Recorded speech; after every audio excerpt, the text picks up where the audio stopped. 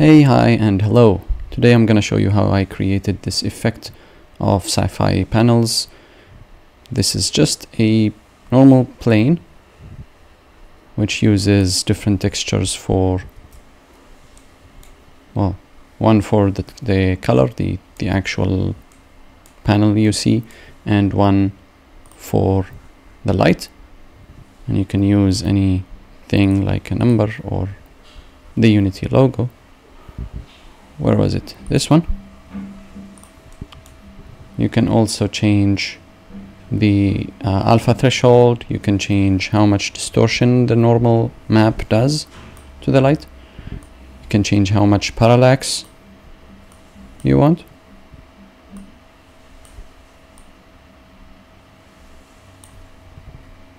You can change the tiling the size of the light starting color and how much random coloring you want and how much emission.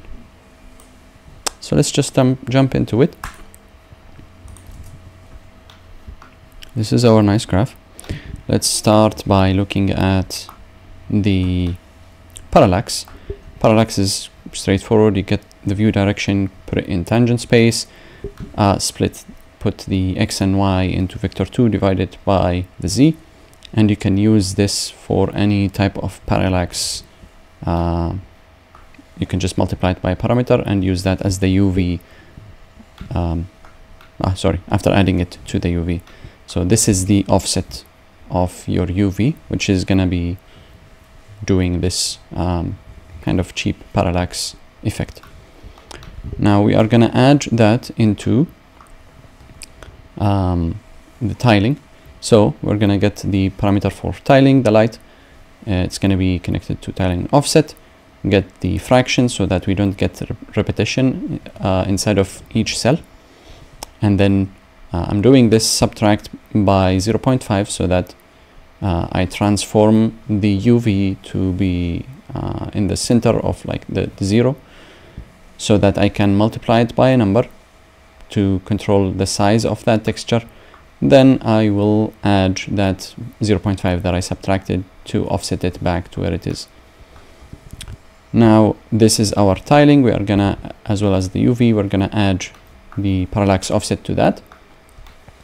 And then we can also add uh, the normal map.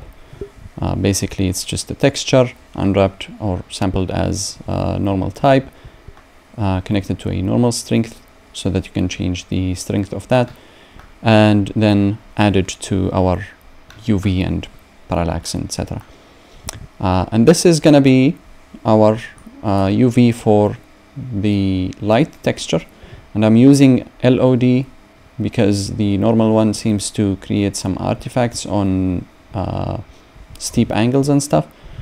So LOD doesn't do that uh, I'm also just plugging this normal strength into our normal tangent uh, here. So um, after that, uh, let's take a look at the actual texture. This is uh, our panel texture, uh, just unwrapping it normally. You can obviously uh, add tiling and offset to this one. And then after that, I am um, taking this I guess this length doesn't mean anything. You can just plug it in here into a step node uh, putting the edge as the alpha threshold parameter so that you can change uh, the transparency of that texture. Obviously this means that your texture has an alpha. What I was doing uh, you can it doesn't look that great but it can work you can plug this into a length node and then use that as the in so that it will kind of uh, make the dark places of the texture to be transparent or show the light basically. Then after that we are gonna multiply our color by the step so that the alpha places are black and the non-alpha places are you know the texture. Uh, and then uh, let's see. Here we are doing 1 minus so that we flip this effect so that the alpha places are 1 and you can see the alpha places are 1 and the not alpha are 0 so that we can multiply it by our light. Uh, doesn't show very well here but you can see maybe a little bit. So that uh, the alpha places are basically our light texture and the non-alpha are just dark. And then we can just add both the normal texture and the light. You can see the light here and this is the normal texture. And this is going to be our base color. Uh, and then we are going to just get the um, the light and multiply it by how much emission we want. And also multiplying it by our random color I'll, I'll show you in a bit which goes into the emission.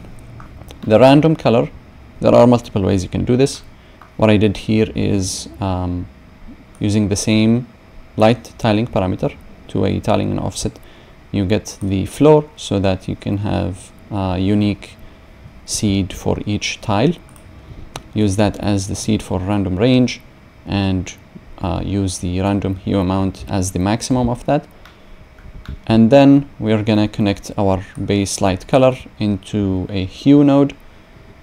And the offset is going to be our random range. And make sure this is normalized so that it's between 0 and 1 which is going to give you something like this. Then you multiply uh, the color by whatever we did to the light and it, it's going to give it a tint uh, a different tint for each tile. And yeah that's our emission so um, that's it for this tutorial. Thank you so much for watching and if you like it take a look at my links in the description for my assets. Uh, that's the only way I get support from you guys. So uh, yeah have a nice one